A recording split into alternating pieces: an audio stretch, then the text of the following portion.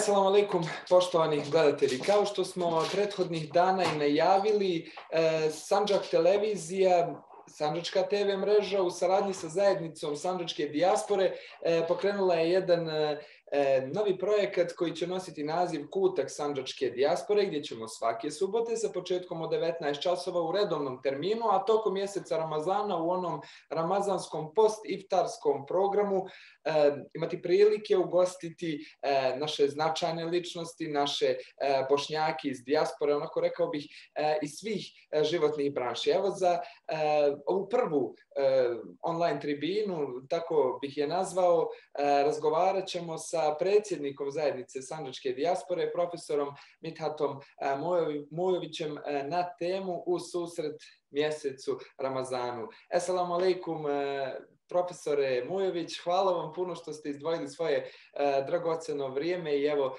da porazgovaramo na, rekao bih, nama naj, najdražu temu i na temu našeg najdražeg gosta. Aleikum salam, hvala i vama, salam svima, naravno našim dragim, našim dragim gledalcima Sanđak televizije. Ovo je zaista divna prilika da malo porazgovaramo na polju pripreme za Mubarek mjesec Ramazan. Da, e, rekao smo bliži nam se ponovo nama najdraži gost. E, I ove godine u posebnim pa rekao bih i ne tako milim uslovima, osjetili se mjesec Ramazan u dijaspori i na koji način? Hvala Bogu, dakle mjesec Ramazan je naravno jedna posebna inspiracija, posebna prilika da popravimo naše živote. Jedno godišnje osvježenje, naravno i badeti imaju taj cilj da nas s vremena na vrijeme osvježavaju, da na neki način inspirišu naše misli, da balansiraju naše emocije, da popravljaju naše ponašanje. Mjesec Ramazan se osjeti naravno u dijaspori ne baš tako dobro i intenzivno kao u našem domovinskom prostoru Sanđaku i Bosni, međutim zaista on je jedna velika radost. Osjeti se u svim metropolama u zapadnoj Europi, počeo od Beča preko Minhena, Frankfurta, Berlina i tako dalje.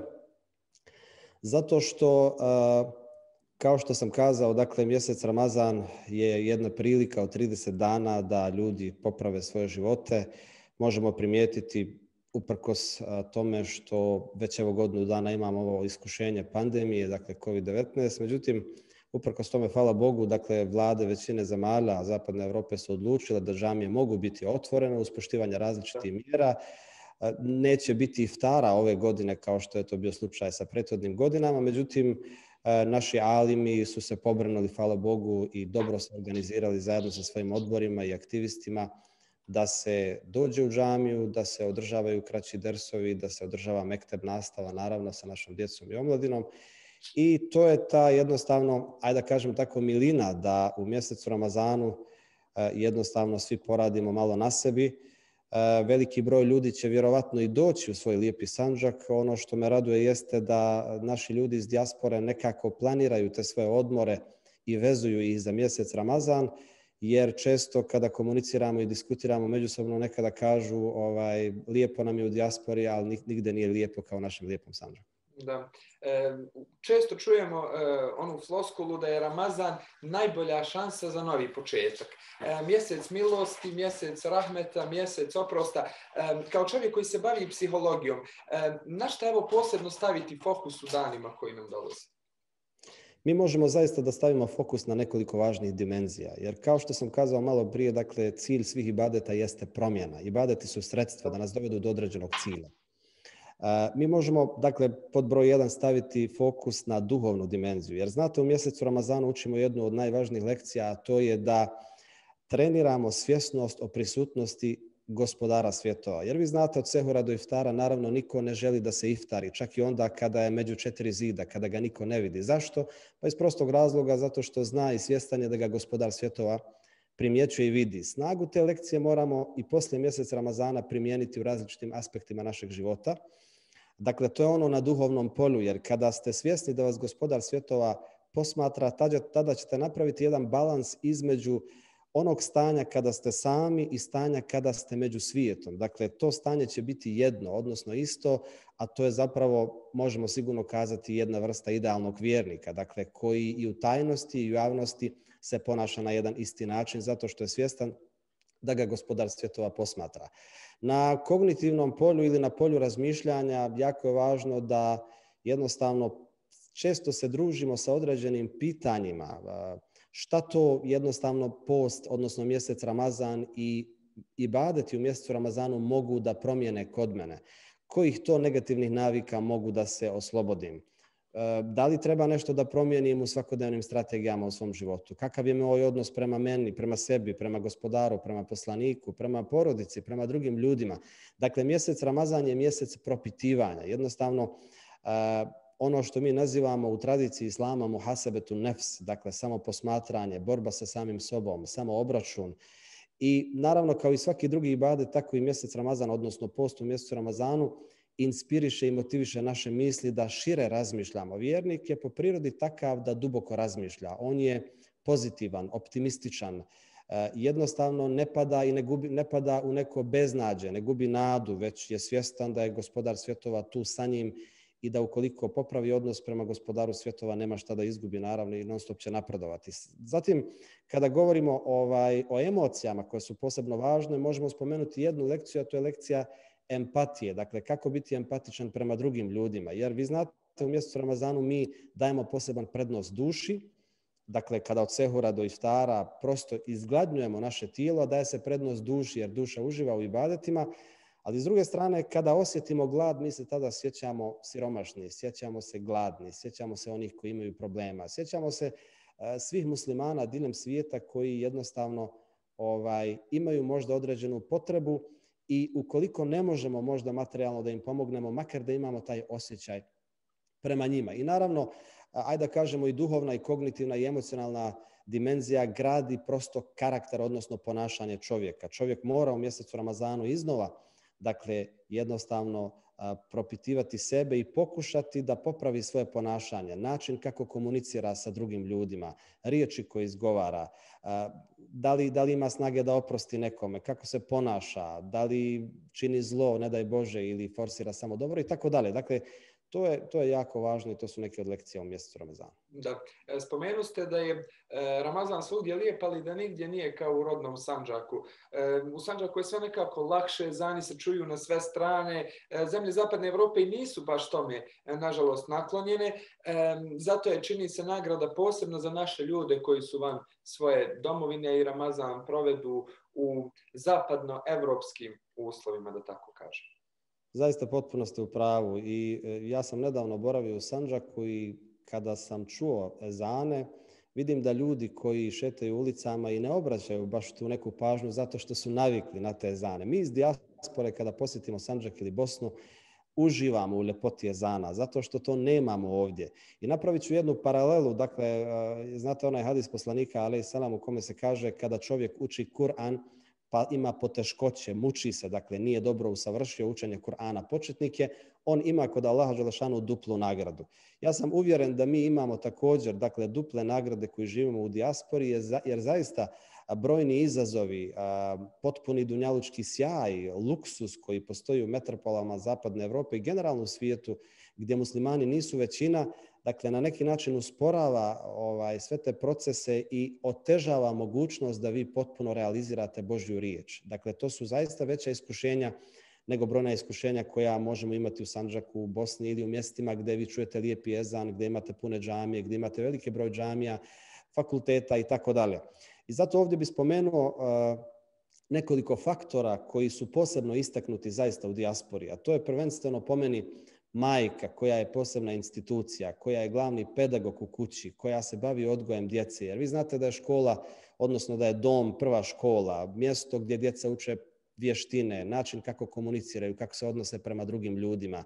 Ono što ponesemo iz naših domova, to nas drži gotovo tokom cijelog života. Zato je majka u dijaspori posebno istaknuta i neka Allah nagradi sve naše majke koji su stubovi zaista opstanka ti vjerski i tradicionalni vrijednosti u dijaspori, zatim naravno naša ulema bez koje ne bismo imali sve ovo što danas u dijaspori imamo kod Bošnjaka općenito i naravno kod nas sanđaških Bošnjaka koji danonoćno rade na uzdizanju Božje riječi, na promovisanju dakle tih kuransko-hadijskih vrijednosti i na prenošenju svega toga općenito narodu, posebno našoj omladini. Naravno, tu su i naši vakifi, naši biznismeni, dakle koji su stubovi naših zajednica, koji, bez kojih ni jedna ideja ne bi mogla da ugleda svjetlo dana, koji jednostavno, kako Kur'an kaže, udjeljuju i danju i noću i tajno i javno. Gospodar nekih nagradi svakim dobrom. Dakle, zaista puno je naših biznismena za koje mnogi ljudi ne znaju, a koji su, dakle, koji investiraju veliki dio svog novca da bi, da bi jednostavno riječ dobra i Božja riječ e, imala, imala poseban prostor onaj kod nas u dijaspori. I naravno tu su aktivisti, tu su simpatizeri i tako dalje. Svi ti faktori tekako utiču da mi držimo taj neki pozitivni kurs jednostavno i da uprko svim iskušenjima i velikim izazovima ipak zadržimo te naše lijepe vjerske, kulturne i tradicionalne vrijednosti u dijaspori. A naši džemati u dijaspori jako dobro su organizirani, gotovo u svim zemljama e, Europe. E, na oni tokom mjeseca Ramazana posebno stavljaju fokus? Kao što sam spomenuo malo prije, hvala Bogu, dakle naša ulema je izuzetno aktivna u zemljama Zapadne Europe, prosto moramo jednostavno biti, biti aktivni, inače gubimo taj kontinuitet ovaj, dobrih aktivnosti u džematu. Poseban akcenat se dakle u toku dana naravno stavlja različito od džemata na, na mukabeli, dakle učenju Kur'ana, gdje obično stariji ljudi, pošto mlađi većinom rade, dakle prisustvuju tim ukabelama. Naveče se poseban akcent stavlja na određena predavanja, dakle kraća predavanja sa jasnom porukom. Ove godine će vjerovatno zbog pandemije biti intenzivnih i online predavanja unutar svakog, svakog džemata. Iftari koje nemam ove godine, nažalost, su bili posebna prilika za te međuljudske interakcije, jednostavno za susrete, za razmjenu mišljenja, za bratsku, bratsku suradnju i tako dalje, ali ono što je zaista možda najvažnije u svemu ove jeste, jeste taj termin teravih namaza i e, jednostavno tog nekog kraćeg dersa, međusobne bratske diskusije gdje imami, naša ulema prenose određena znanja na svoje džematlije. Vidite, mi smo u zapadnoj Evropi, Evropi zaista ovaj, u našoj dijaspori ove godine onemogućeni da posjećujemo jedni druge. Dakle, zabrana postoji posjećivanja po kućama, na neki način forsiranja većih okupljanja i tako dalje. To je sve zabranjeno, tako da uprko svemu tome, eto, zadržat ćemo se zaista na toj našoj teravi, na tim manjim dersovima i stavit ćemo fokus i na online druženjima, online predavanjima, jer to moramo ove godine. Da, e, spomenuli ste kako je ova situacija eto, e, poremetila sve životne tokove e, prethodne godine i nažalost i ove godine.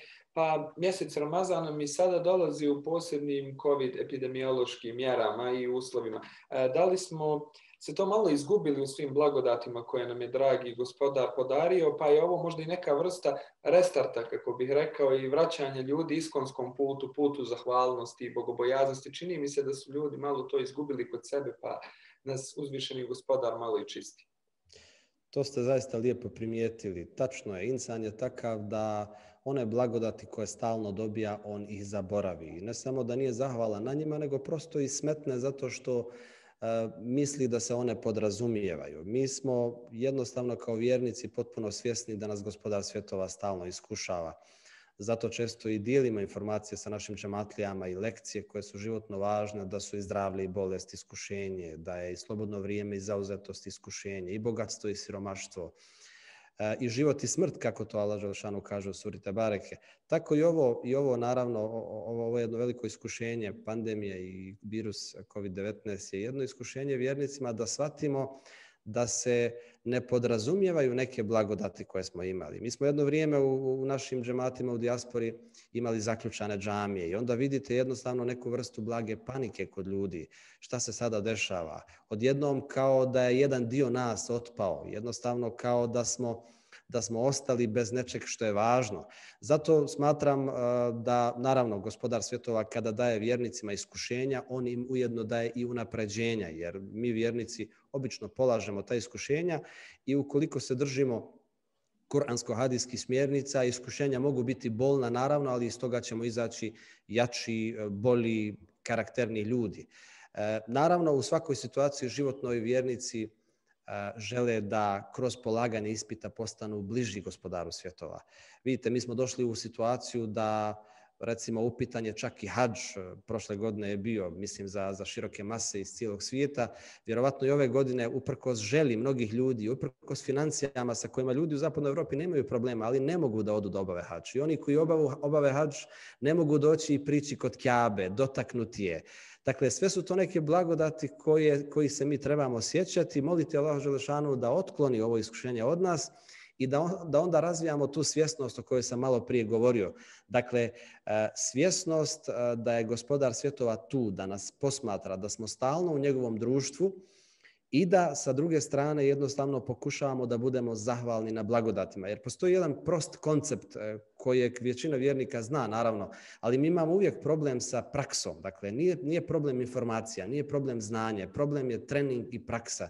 Jer mnogi ljudi kada inforsiramo i postiramo neke informacije, oni kažu vidjeli smo da to u praksi ne funkcioniše. Pa naravno ne funkcioniše zato što ne trenirate. Kao kada dovedete nekog mladića u fitness centar i kažete mu ukoliko treniraš izvesno vrijeme, bit ćeš snažan. Dakle, ne može odmah, mora da trenira nekoliko mjeseci, nekada i nekoliko godina. Mi imamo problem sa treningom određenih kuransko-hadijskih poruka. Dakle, kada ih treniramo, odnosno realiziramo u praksi, sigurno nakon izvjesnog vremena vidjet ćemo, vidjet ćemo velike rezultate. Zato je ta svjesnost o Allahu Đalešanu i svjesnost o nama i svjesnost o vrijednostima važna da bismo, da bismo prosto bili zahvalni s jedne strane i bogobojazni s druge strane, jer ja bogobojaznost često prevodim kao svjesnost o Allahu Želešanu, jer mi je nekako taj termin puno jači nego strah od Allahu Želešanu, iako je naravno strah i ljubav ovaj, treba da su u balansu, odnosno u ravnoteži. Da. E, I u duhu same ove teme i u duhu dragog gosta koji nam e, dolazi za nekoliko dana, e, šta bi bila vaša ramazanska poruka svim našim gledalcima u dijaspori, ali i u Sančku? Pa hvala Bogu evo da smo u prilici da možemo da savjetujemo jedni druge. Naravno ovih će dana i kao na polju pripreme za mjesec Ramazan veliki broj naših alima kako u Sanđaku tako i u Bosni i u dijaspori govoriti, šaliti svoje poruke našim, našim aktivistima, našim općenito vjernicima. Ono što bi ja podijelio jeste, jeste da vidite, u odnosu na mjesec Ramazan imamo tri vrste, tri vrste ljudi, tri kategorije. Neka svako razmisli kojoj vrsti pripada. Imamo ljude koji, su, koji se jednostavno raduju mjesecu Ramazanu, koji imaju iskrenije da nešto promijene. E, takvim ljudima će gospodar svjetova sigurno pomoći da se promijene, da poslije mjeseca Ramazana budu boli. E, I zato vam je potrebna jedino iskrenost. Ako ste iskreni, pobrinut će se Allah Đelešanu za sve ono drugo. Jer nekada mi ne možemo da pobjedimo određena iskušenja i negativnosti kod nas i zato ima ona posebna dova nekih pobožnjaka koji kažu gospodaru između mene i tebe je zid. Ja ne mogu da ga srušim, ali ti možeš. Sa Allahom Đelešanu i na polju iskrenosti nema kompromisa. Dakle, ne može čovjek da kaže ja ću 60% da radim za Allaha, 40% da me neko vidi. Dakle, tu zaista ne smijemo imati kompromisa i savjetujem zaista svim našim ljudima da posebnu pažnju posvete iskrenosti, jer ukoliko smo iskreni, bit će nam stanje poslije mjeseca Ramazana bolje. Druga kategorija su ljudi koji uđu u mjesec Ramazan i izađu iz njega i njihovo stanje se ne mijenja. Oni će nakon mjeseca Ramazana zaista ostati nekoliko koraka nazad. I treća kategorija, nažalost, su ljudi koji iz svoje slabosti, iz svoje nemarnosti, prosto ne vole što dolazi mjesec Ramazana. Oni su manjina. Hvala Bogu da su manjina i onda njihovo stanje poslije mjeseca Ramazana bit će puno lošije. E, pazite, ibadeti su, ibadeti su jako opasni. Dakle, oni, oni vas mogu približiti džennetu, ali vas mogu udaliti. Mi imamo ljudi koji kada počnu da obavljaju namaz postanu lošiji ljudi, zato što su pravili kompromise sa iskrenošću. Imamo ljudi koji obave hađ, i onda se vrate sa hađa i postanu gori ljudi. Zašto? Pa zato što nisu bili iskreni dovoljno. Zato je možda jedna od najvažnijih lekcija u mjesecu Ramazanu i da to prosto posebno podstaknem jeste, jeste lekcija iskrenosti, da budemo iskreni prema sebi, prema Allahu, prema poslaniku, ali prema našim porodicama i zajednici u kojoj, u kojoj živimo. I naravno, dakle, mjesec Ramazan, sa tim završavam, dakle, mjesec Ramazan jeste mjesec 30-dnevnih eh, dakle, treninga, 30-dnevnih vježbi, posjećujemo džamije, oživljavajmo noći namazom, trudimo se da u toku dana jednostavno ne činimo ni najmanje vrste nepravdi i zla, radimo na zajedništvu, radimo na, na sebi, pokušavajmo da oprostimo jedni drugima i uzvišeni Allah Želešanu će dati naravno da rezultati dođu sami po sebi. Profesor Mujoviću, hvala vam e, na izdvojenoj prilici i na svim ovim e, divnim porukama koje će svakako značiti e, svima nama i eto u samom nastojanju da mjesec Ramazan svakako bude nova šansa, šansa za novu čistu stranicu u našem životu. Vama, poštovani gledalci, hvala na pažnji i šaljemo vam u duhu svih ovih ramazanskih poruka Mahsus Selame do idućeg gledanja.